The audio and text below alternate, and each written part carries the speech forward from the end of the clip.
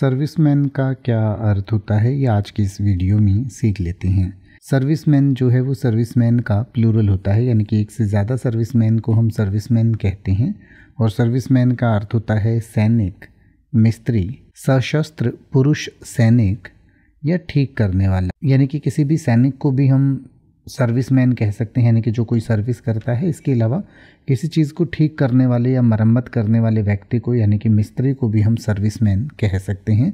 एक से ज़्यादा को सर्विसमैन कहा जाता है। जैसे कि अगर आप ये कहना चाहें कि यह शहर सैनिकों के आतिथ्य के लिए प्रसिद्ध था तो आप कहेंगे this was a city famed for its hospitality to serviceman this was a city famed for its hospitality to serviceman या अगर आप ये कहना चाहें कि सैनिकों को अपने देश के प्रति वफादारी की शपथ लेनी होती है तो आप कहेंगे service man have to swear an oath of loyalty to their country.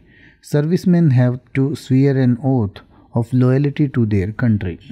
अब आप ऐसे ही किसी भी वर्ड का मतलब हिंदी और इंग्लिश में यूट्यूब पर सर्च कर सकते हैं। आपको मेरी वीडियो मिल जाएगी, जिसमें आप बिना किसी फालतू बकवास के सीधा उस वर्ड का मतलब समझ पाएँगे। तो ऐसी ही वीडियोस को देखते रहने के लिए चैनल को सब्सक्राइब करें और बेल आइकन को प्रेस करें।